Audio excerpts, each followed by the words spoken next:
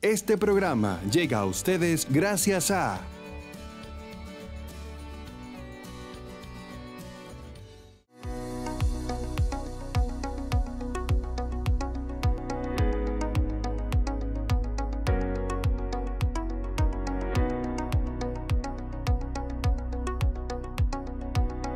Bienvenidos sean todos ustedes a un programa más de Vida y Salud en Comunidad.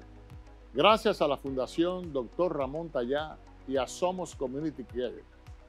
Por Televida, Canal 41, el canal de la familia.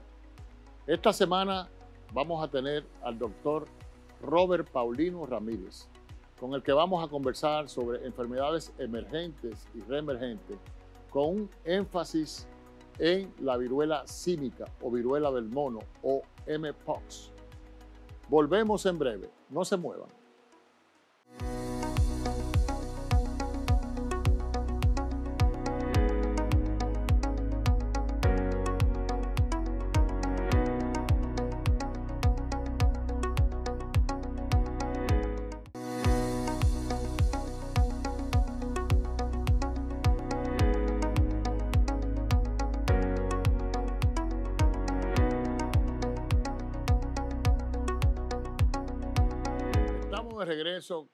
doctor Robert Paulino Ramírez. Así es. Bienvenido, Robert, al Ha programa Vida y Salud suyo. en Comunidad. Ha sido visitante suyo. Muchísimas gracias. Un placer Sí. estar contigo con usted y, y llegar a todo su público. Estamos con la ausencia de la doctora Angie Esteves, quien por razones de fuerza mayor no está con nosotros. Eh, y le enviamos un gran saludo y la extrañamos. Robert, eh, ya tú has participado con nosotros aquí, pero siempre para esas personas que se conectan y te ven por primera vez. eh, Robert Paulino Ramírez es capitaleño, dónde nació, dónde se crió. Capitaleño, sí, así mismo. Eh, de padres y, y madres ibaeños. Que eso es muy importante decirlo. Mami y papi eh, son de La Vega y de Santiago. eh, casi de Santiago más que La Vega, porque el quemado es una comunidad que queda ahí. Así que mi segunda nacionalidad es ibaeña completamente. Mis abuelos también ¿Cuántos de ambos son lados. ustedes? Somos dos solamente. Dos. Sí, sí, sí. Una hermana y yo. Yo soy el mayor y una hermana menor. Y dos bellas sobrinas hasta el momento. Excelente. Así que es una Y- familia bien, bien corta, no muy, no muy grande, la Y, y- y la parte de, de Robert Paulino eh, con relación a los hobbies y a, a los gustos, a las preferencias. Bueno, yo leo mucho, a mí me gusta mucho leer, la verdad, pero me gusta mucho el cine eh, y me gustan mucho los deportes también.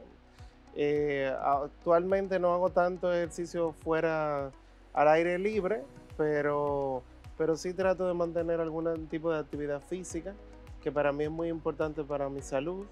Eh, y bueno, de hobbies, además de la carrera, eh, que tiene que ver mucho con, con leer cosas de, de- de mi área, pues la verdad me gustan mucho las novelas, específicamente de las que son policíacas. Sí, sí, sí, que, que generan... la que gana lo bueno. Es la que ganan los buenos, sí, sobre... Siempre tiene que ganar... siempre tiene que Yo ganar tengo- buenos. Yo tengo una persona muy querida que lo primero que pregunta es eh, sobre cómo es que termina la película. Si- no termina bien, no la ve.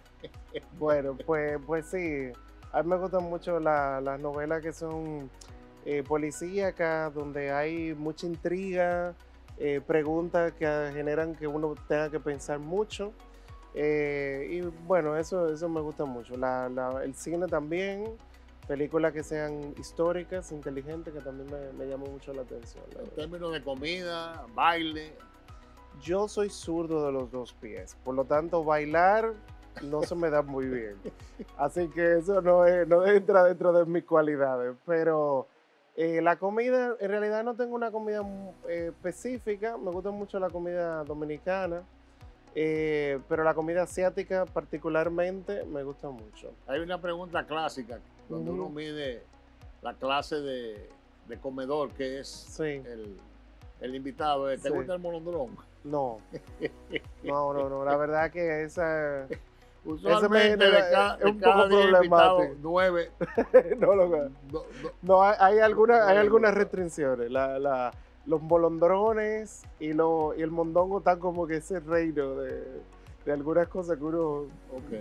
No necesariamente come. Tú haces medicina eh, en la Universidad Autónoma Yo hice, sí, estudié, soy egresado de la Universidad Autónoma de Santo Domingo. y entonces te dedicas a un área eh, en específico que tiene que ver con la microbiología y la virología. ¿Qué, Así qué- es. qué te inclina a ti a, a irte a, a esas áreas? Eh, a mí siempre me, me gustan mucho los retos y yo, yo vi que una de las cosas que más retadoras eh, pasaba era en el área de las, de las infecciosas.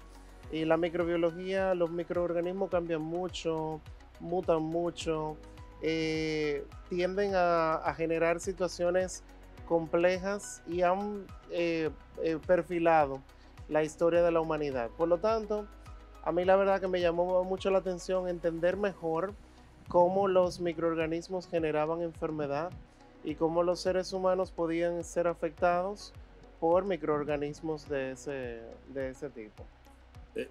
Tú haces eh, tu entrenamiento de, de microbiología y há- háblanos un poquito de eso porque tú tienes un- un- unos antecedentes de entrenamiento muy formales tanto en Estados Unidos como en Sí, Reino Unido, ¿no?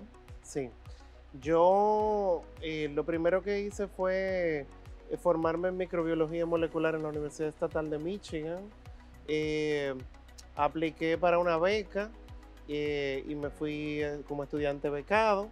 Mientras estuve allá, trabajé como asistente de investigación, como asistente de profesor. Eso me ayudó mucho a entender la dinámica de cómo se hacía investigación, porque tuve, que- tuve mucho contacto con los laboratorios de investigación y eso me permitió poder entender un poco mejor cómo era que, cómo era que se realizaba el mundo de la investigación. Eh, luego de eso fui a Nueva York eh, a una formación en enfermedades infecciosas y manejo específico del VIH, eh, eh, que el programa era coordinado por Well Cornell Medical College eh, y Cornell University en el Hospital Presbiteriano de Manhattan. Eh, eso me permitió rotar por muchas de las unidades de manejo de ITS y VIH de la ciudad de Nueva York.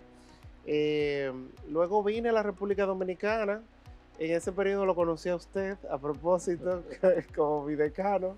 Eh, y luego me fui a Inglaterra a estudiar enfermedades tropicales. Yo siempre había querido eh, entender un poco mejor cómo ocurría esa intersección, porque mm, como mi formación en VIH se había sesgado un poco por, por un país desarrollado, con hospitales de primer mundo, donde todo está disponible, pues yo quería entender un poco mejor cómo era que las enfermedades tropicales interseccionaban con la pobreza, con los determinantes sociales de la salud, con los países que no necesariamente tienen los recursos que nosotros tenemos. Eh, y bueno, eso, eso solamente me lo permitía poder entender mejor de esa manera. Entonces apliqué también al programa, me becaron eh, por el Femto Scholarship que lo da la corona eh, británica. Y bueno, eh, allá estuve eh, y luego retorné al país justamente el año en el que empezaba la, la- la epidemia de Zika, que fue 2015. Eh, había pasado la de chikungunya, que, que había sido muy reciente también.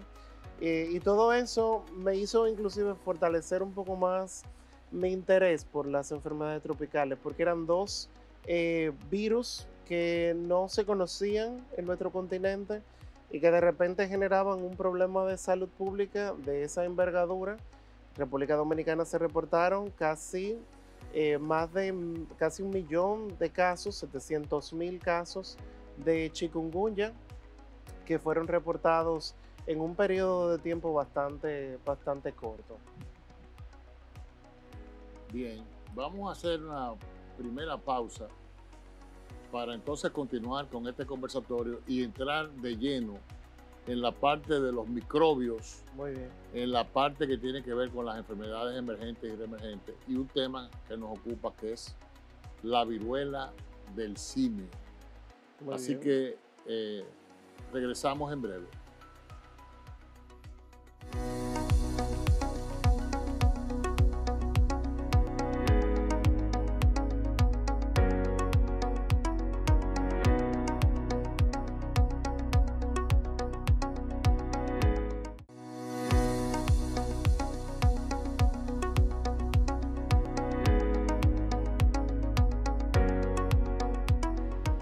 Nuevo con el doctor Robert Paulino.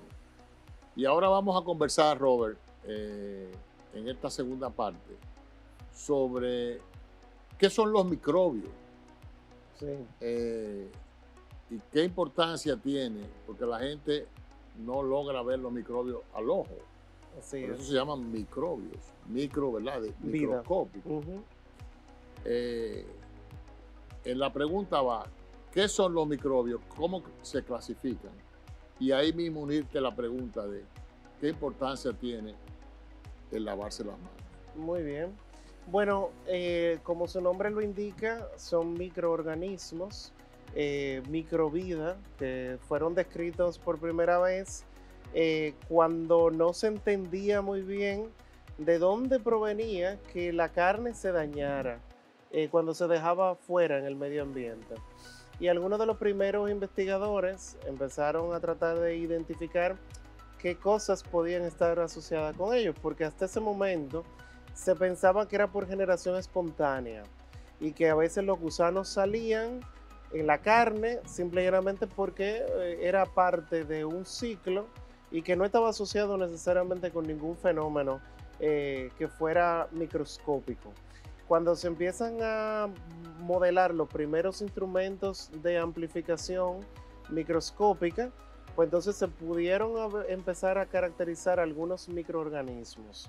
Todavía no se sabía que, cómo era que se multiplicaban hasta que las teorías de Pasteur y, y Robert Koch eh, pudieron confirmar que muchas de las enfermedades que nosotros sufrimos eh, a diario, que muchas de ellas inclusive generaron muchas de las teorías de la sepsia y la antisepsia, que nosotros podemos discutir un poco mejor ahora, eh, porque se asocia mucho con el lavado de manos y cómo nosotros mantenemos nuestra higiene personal y lo que tocamos y lo que se encuentra alrededor de nosotros, pues eh, se pudieron confirmar que muchas de las mortalidades que ocurrían a diario en personas que llegaban a los servicios de salud o que eh, morían de manera espontánea por cualquier exposición, pues estaban asociadas con microorganismos. Y de ahí surge la teoría justamente bacteriana. ¿Por qué? Porque uno de los primeros, eh, de los microorganismos que se primero identificaron fueron las bacterias y por eso se llamaba teoría bacteriana.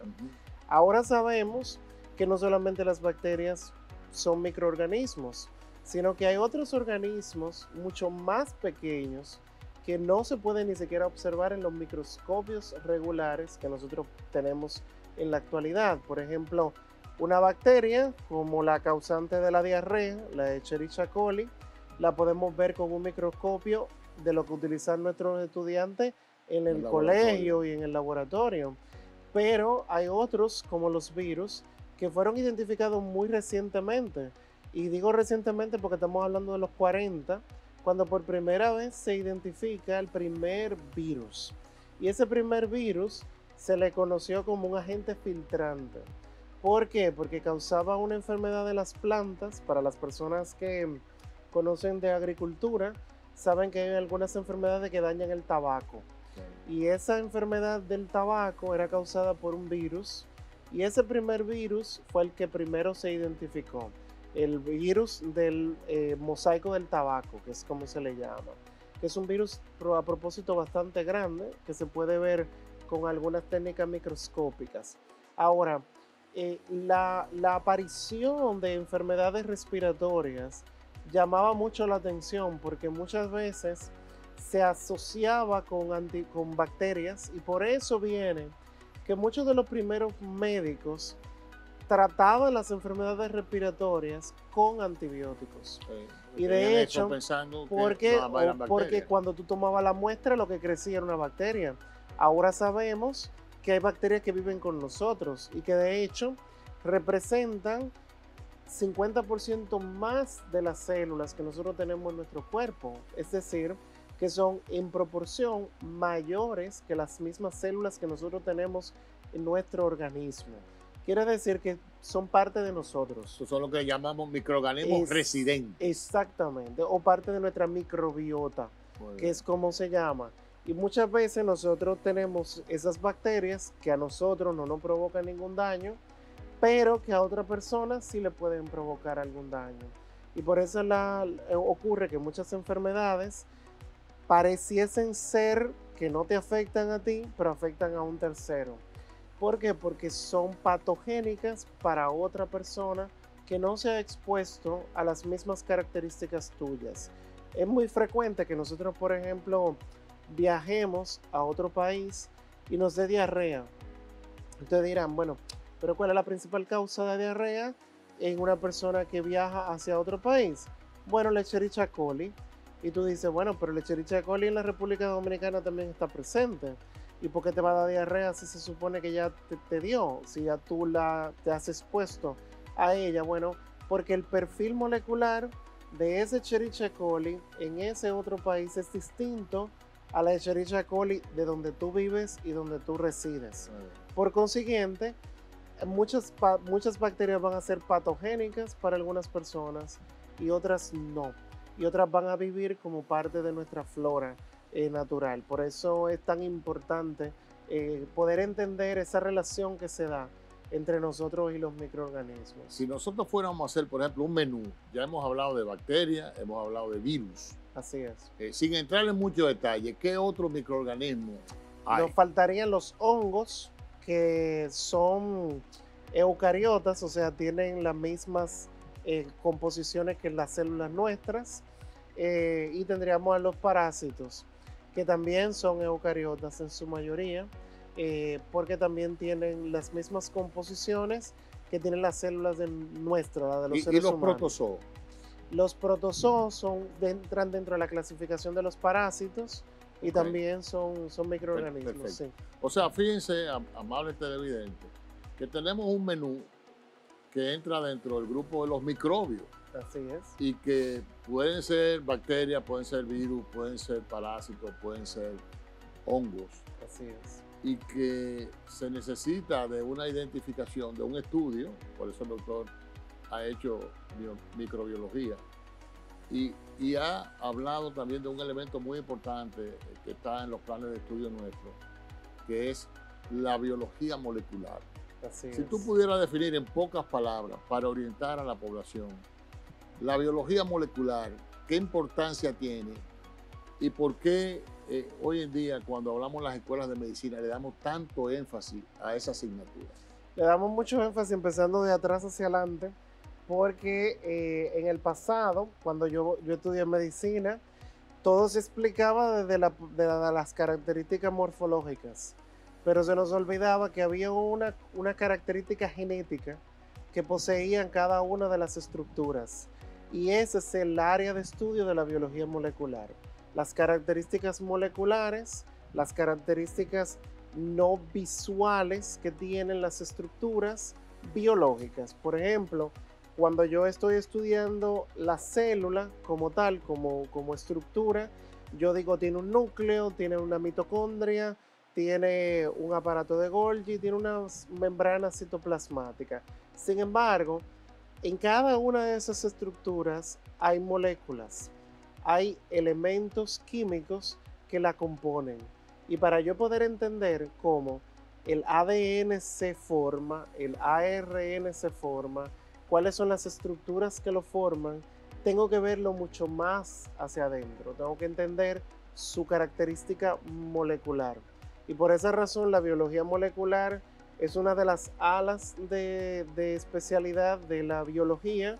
Eh, la mayoría de los biólogos moleculares estudian biología primero y luego se hacen biólogos moleculares. Sin embargo, ya la medicina humana mm, eh, necesita tanto de la misma biología molecular que hay áreas de especialización dentro de la misma medicina que dependen fundamentalmente de la biología molecular. Por ejemplo, hay especialidades como la inmunología, que si tú no entiendes bien cómo funciona la biología molecular, pues muy probablemente no la vas a entender. Si estás en el área de la oncología, entender cómo funcionan los químicos que utilizamos para el tratamiento de, de la mayoría de los padecimientos y cómo el cáncer funciona, cómo pudiésemos desenmarañar un cáncer, no lo podemos entender sino desde la biología molecular.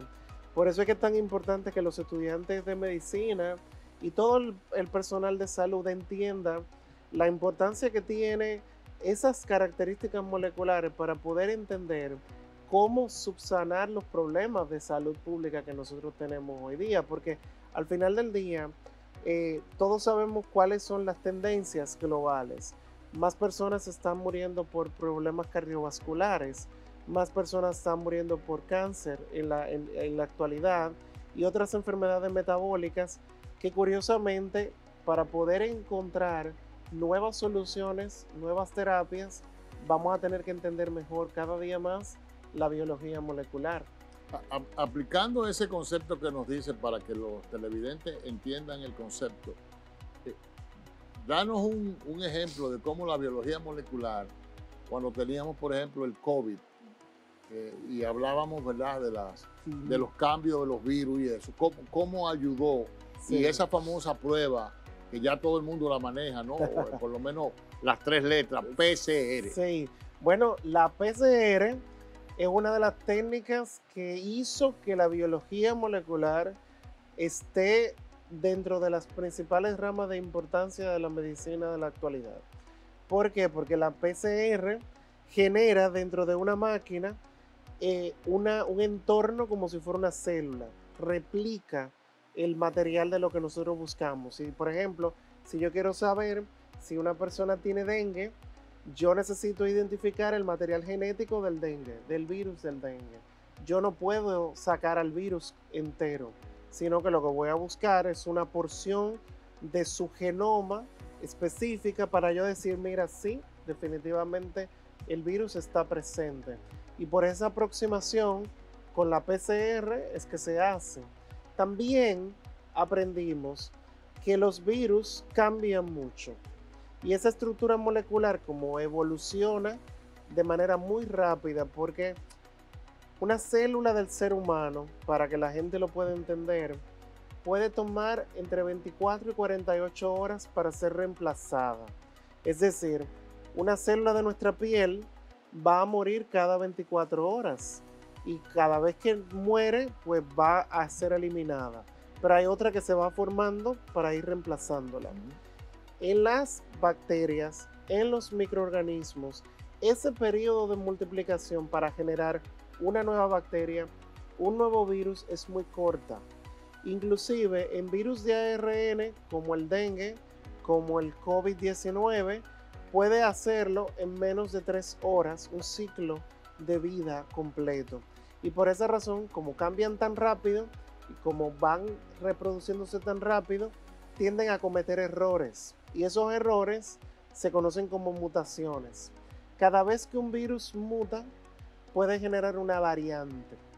Y esa nueva variante, para nuestro organismo que lo conocía previamente, es nueva. Y tiene que generar una inmunidad para esa nueva variante. En virus emergentes, como lo que hemos visto en los últimos años, un virus emergente es un microorganismo que no se conocía que estaba circulando o que podía causar una enfermedad en una población humana, pero que surge como un, agente causal en un momento dado. Por ejemplo, el SARS-2 probablemente existía en el medio ambiente, pero se adaptó, mutó, se adecuó y esa variante que fue adaptable hacia los seres humanos se convirtió en una variante emergente el SARS-2 causante de la COVID-19. Y asimismo, como lo hizo ese virus, hay miles y millones probablemente de microorganismos que andan por ahí en el mundo esperando solamente el momento en el que una mutación le permita hacer ese salto. Por ejemplo, ahora mismo estamos frente a una emergencia de importancia internacional en el que un virus cambió, se adecuó y saltó de especies y ahora se puede transmitir de persona a persona y no necesariamente requiere a un animal para que sea el, hospedero que lo transmita hacia los seres humanos. Que podemos hablar un poco sobre eso porque ese es el fenómeno que se conoce como enfermedades zoonóticas. Muy bien. Eh, precisamente una de las razones para invitarte en el día de hoy eh, tiene que ver con una de esas enfermedades emergentes. Y ahí aprovechando que has hablado del término emergente, para que nos aclare antes de entrar en detalle con, el tema central, ¿qué serían entonces las enfermedades reemergentes? Una, una enfermedad reemergente es una enfermedad que debido a las múltiples intervenciones que se han realizado desde el punto de vista de la salud pública, se logró controlar. Pero por razones múltiples, y eso lo tendríamos que ver una por una, pues empieza a generar una cadena de transmisión. Por ejemplo, el polio, el virus del polio, para aquellas personas que vivieron en los 50, en los 60, recuerdan que era una enfermedad devastante. Eh, acabó con la vida de muchos niños y los incapacitó, generando parálisis.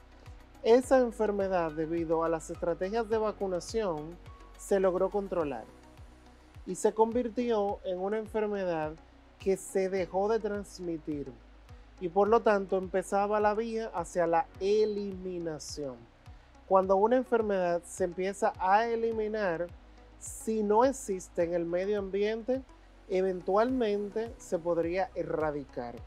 Como el virus del polio solamente se transmite de persona a persona y no existe polio en ningún otro reservorio animal en ningún lugar del mundo, pues esa es una enfermedad que, es, que, es, eh, eh, eh, que se puede considerar como una enfermedad erradicable. Y por consiguiente, si se erradica, pues ya deja de ser un problema de salud pública. Sin embargo, con el polio no logramos llegar a la erradicación, sino que nos hemos mantenido en la eliminación y debido a las ideas mal fundadas en contra de las vacunas, muchas personas han empezado a dejar de vacunar a sus niños contra el polio y otras enfermedades, no solamente el polio, obviamente.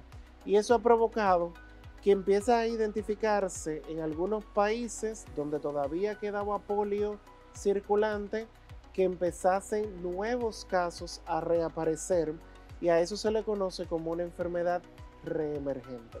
Excelente. Vamos con la anuencia tuya a pedir un permiso breve y regresamos.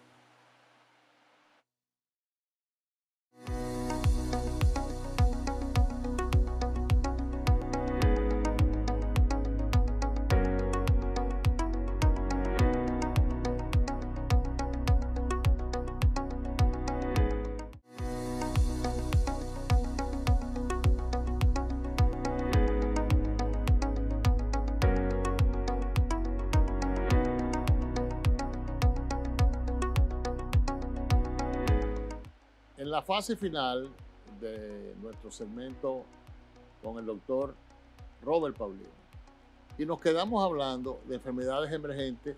Hiciste un, un despliegue eh, informativo muy claro de lo que eran enfermedades emergentes y reemergentes.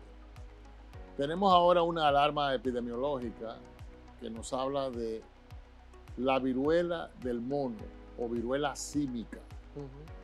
Y resulta que estas nuevas generaciones desconocen que hubo una enfermedad infectocontagiosa llamada viruela, que mató más de 400 millones de, personas, que fue erradicada eh, en los años 70. Así es. Y que precisamente una de las razones por, la, por lo cual fue erradicada fue a través de las vacunas. es uno de, las, de los mecanismos de defensa ah, que tenemos nosotros para poder explicarle a los estudiantes de medicina y a la población en general la importancia que tiene la vacuna como parte de una estrategia para combatir enfermedades. Así es.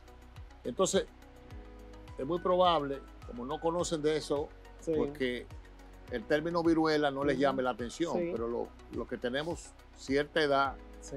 y, y- y vimos personas con secuelas de, que se producían sobre todo en la cara, a nivel de la piel, de la viruela, eh, y también eh, leyendo lo- la- lo- los libros de la historia, ¿no? De, de- Sí. de cómo ocurrió y, y- y el impacto que tuvo.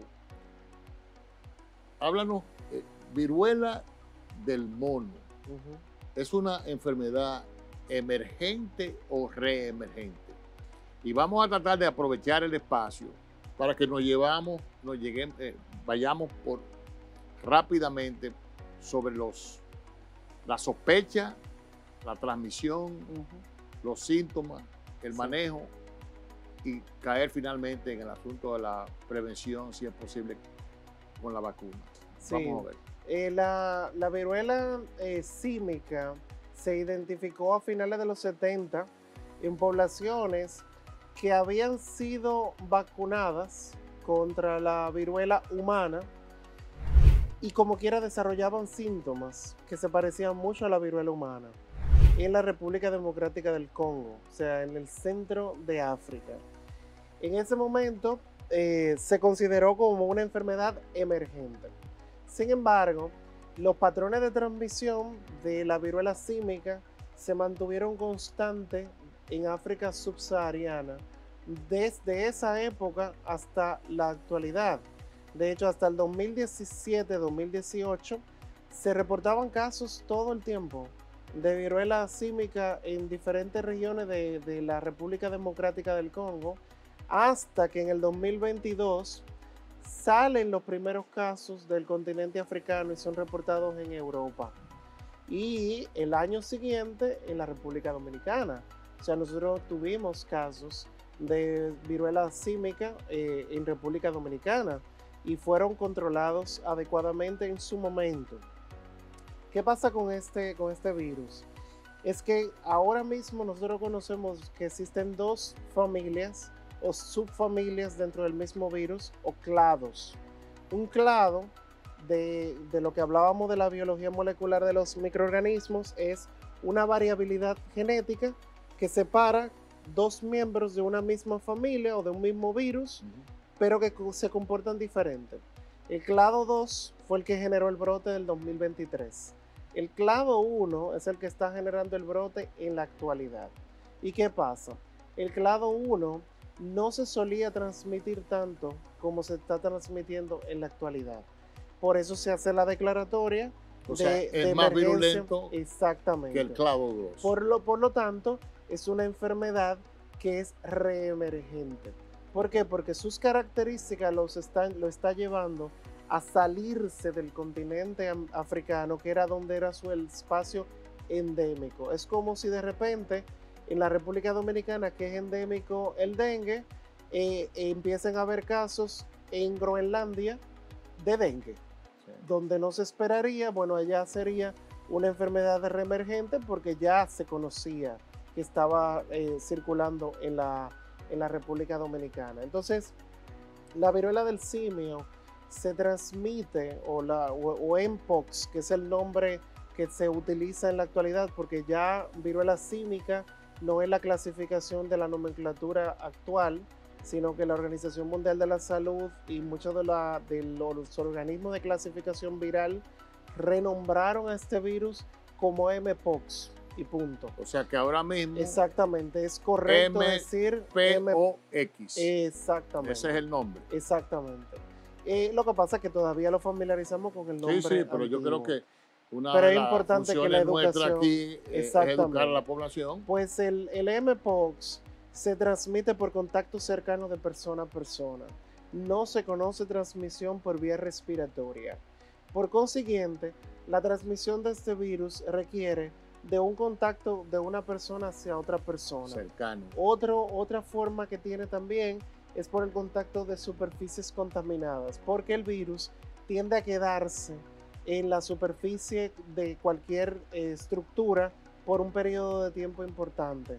se estima que puede durar hasta 12 horas en la ropa contaminada, en un plato contaminado, todo lo que la persona toque con las lesiones que aparecen en la piel puede ser un mecanismo de transmisión. Es importante, Robert, ahí aprovechando esto, eh, el asunto de la saliva, la, la, contaminación, por ejemplo, de un cubierto a otro, sí. ¿se puede dar? Sí, y por secreciones genitales también. Eso es una enfermedad de transmisión sexual. Se ha demostrado que por fluidos biológicos se puede transmitir también el, el MPOX. El, el periodo en el cual la persona está en contacto sí. y desarrolla los síntomas, que nosotros le llamamos periodo de incubación. Sí. ¿De qué tiempo Tiende hablamos? a ser entre 14 y 21 días. Es un periodo de incubación muy largo. Y esas personas que tienen un caso sospechoso, Sí. eh, ¿qué deben hacer para protegerse ellos y al entorno? Lo primero es que toda persona que empiece a tener fiebre de inicio brusco, aumento de los ganglios linfáticos, O sea, Que que, son tenga todas eh, esas masas o- o, exactamente, pelotitas en, en que el sean cuello, en la dolorosas axila, en la las ingle. axilas, en las ingles y que tenga lesiones punteadas en la piel, como muchas personas pueden asociar más rápido, si yo le diría, si usted recuerda cómo se veía la varicela, así lo- el principio de las características de las lesiones causadas por MPOX. Ahora, esas lesiones van a aparecer punteadas en el cuerpo entero. La varicela normalmente aparecen como si fueran en- en olas. Empiezan a aparecer en la cara, luego aparecen en las manos. En, en MPOX aparecen todo el cuerpo. Al mismo tiempo. Ah, Exactamente. Y al mismo tiempo empiezan a aparecer vesículas, que esas bolitas, esas pápulas van a empezar a crecer y se van a, van a tener un líquido dentro claro, punteado negruzco. Eso que se encuentra ahí dentro son partículas virales. Es decir, que si eso se revienta o alguien la toca, se va a contaminar de inmediato. Por eso una persona que tenga sospecha de síntomas que pudiese estar asociado con MPOX debe de quedarse dentro de su espacio, ya sea su habitación o sea su casa, y evitar el contacto con otras personas. Inmediatamente aparezcan los síntomas. ¿Por qué? Porque inmediatamente empiezan los primeros síntomas, van a pasar siete días que son altamente contagiosos. Y quiere decir que cualquier persona que toque, cualquier persona que esté en contacto con la superficie o inclusive con la ropa contaminada de esa persona, la toalla, eh, la camisa, la ropa para lavar, se puede contaminar con el mismo. Una, una pregunta importante, porque acuérdate que eh, más que dar alarma, nosotros tenemos que dar calma, tranquilidad y además eh, sosiego con las Sí. informaciones que vamos a dar. Así es. Si yo me pongo en contacto con esa superficie contaminada, pero mi piel está íntegra, intacta, Sí. ¿hay algún riesgo de que yo pueda... Eh, algunos estudios sugieren que no importa, que no importa que esté íntegra o no íntegra, como quiera va a ocurrir la transmisión. el sí. asunto de... Hay una microadhesión que me- se da. medidas de higiene para la, la, la Eso persona. sí es muy importante. Se ha demostrado que las medidas sanitarias de higiene son fundamentales para romper la cadena de transmisión de MPOX. Sí se sabe que si, por ¿Cuáles ejemplo, son esas medidas? por el lavado de mano correcto, el uso de detergentes en la superficie de las cosas que la persona vaya El a cloro, tocar. por ejemplo. Exactamente. Agua clorinada no tiene que ser alcohol, no tiene que ser ninguna sustancia cáustica ni nada de esas cosas que a veces nos gusta utilizar, que son muy dañinas.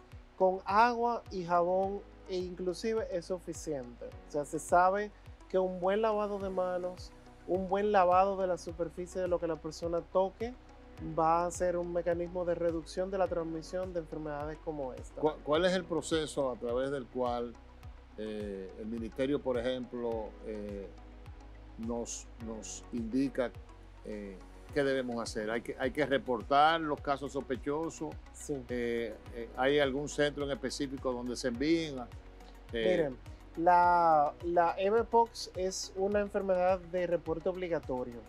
Todos los centros de salud que tengan o sospechen de algún caso de MPOX deben de reportarlo de inmediato, de inmediato al departamento, si lo tiene, de epidemiología o a la Dirección Nacional de Epidemiología DIEPI, que es quien se encarga del organismo rector del Ministerio de Salud Pública de facilitar inclusive algo muy importante.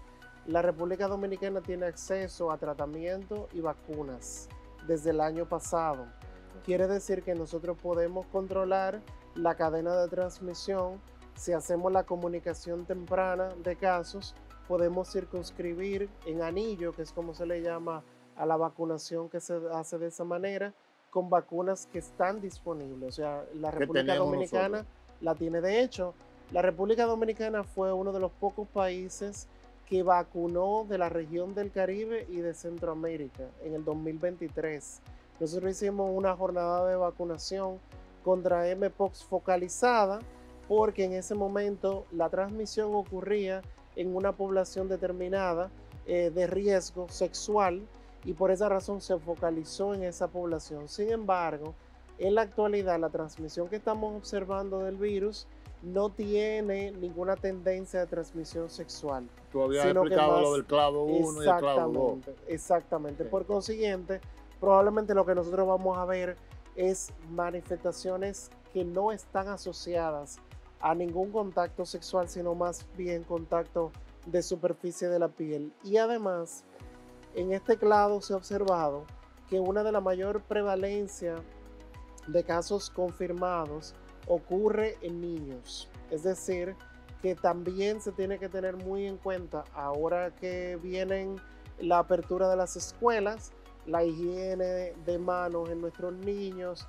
el contacto y el juego con los otros en los lugares de cuido, eh, principalmente aquellos que son más pequeñitos, que sabemos que de hecho es muy importante saber que el inicio de, la, del periodo escolar es el inicio de la mayor incidencia de enfermedades de la niñez, porque especialmente aquellas que son virales, porque ocurre mucho contacto con niños que vienen de diferentes entornos. Robert, aprovechando el tiempo eh, que es muy corto, eh, entonces esa persona que tiene esas lesiones sospechosas, eh, que obviamente estamos indicando las características clínicas.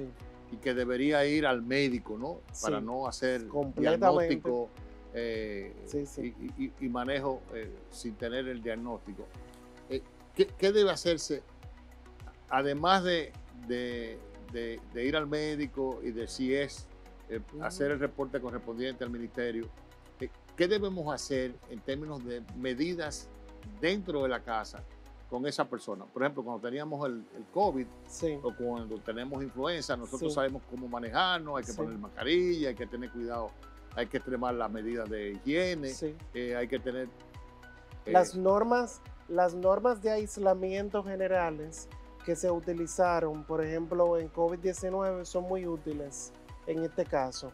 No se ha hecho ningún estudio que revele que el uso de mascarillas para manejar personas con MPOX cambie mucho la transmisibilidad, pero podría dar... El uso de guantes, por ejemplo. El uso de guantes, el uso de detergentes para limpiar las superficies, el uso de materiales para comer, que sean específicos de esa persona, el lavado de la ropa aparte de la ropa de las demás personas, el uso de luz dentro de los espacios donde esa persona va a estar, abrir las ventanas, permitir que circule la ventilación y sobre todo, y es muy importante, el cuidado de las vesículas que aparecen en la piel. Porque el manejo de las lesiones de la piel, ¿cómo debe ser? ¿Las que no se han roto o las que se rompieron? ambas.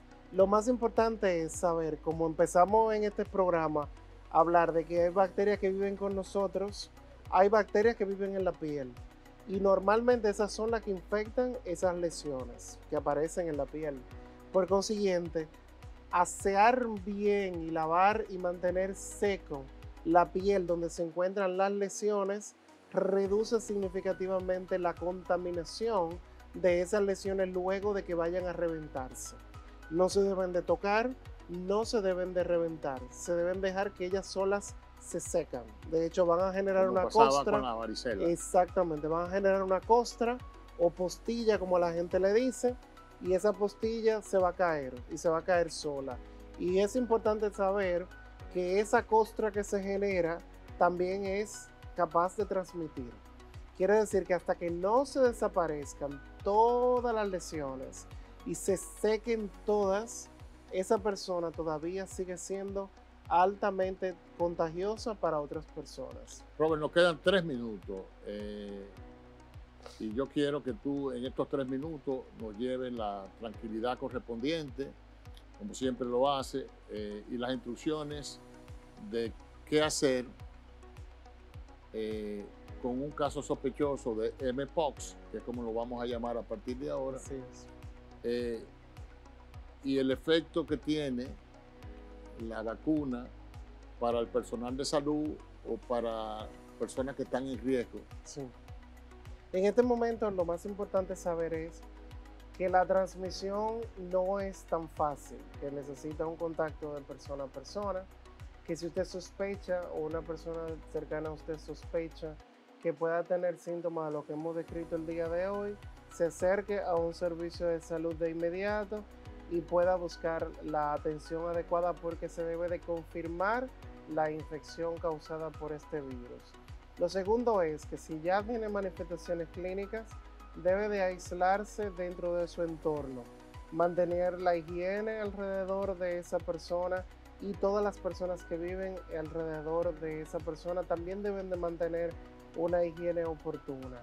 En la República Dominicana existen vacunas disponibles para poder vacunar en forma de anillo. Va a ser imposible que vacunemos a todas las personas, pero sí podemos controlar que aquellas personas que sean positivas para MPOX, si reciben la vacunación, los que quedan alrededor o que están en contacto con ella, pues no se van a contaminar, pero tienen que informarle a los servicios de salud. Por eso es que es tan importante no automedicarse.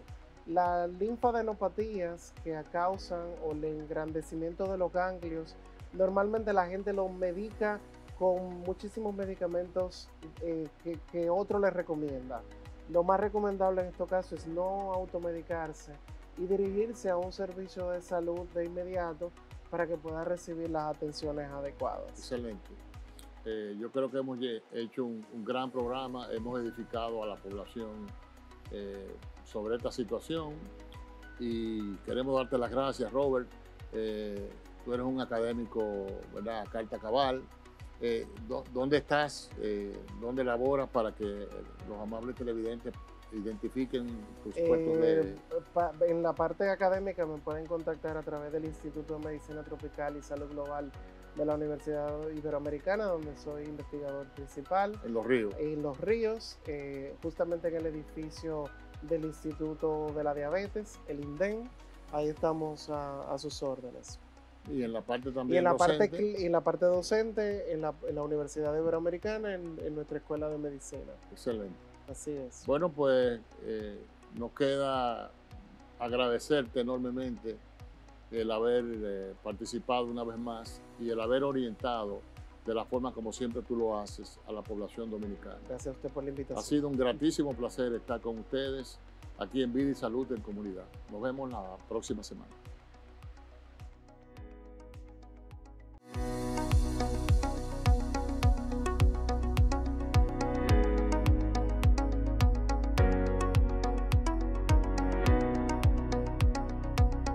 Este programa llegó a ustedes gracias a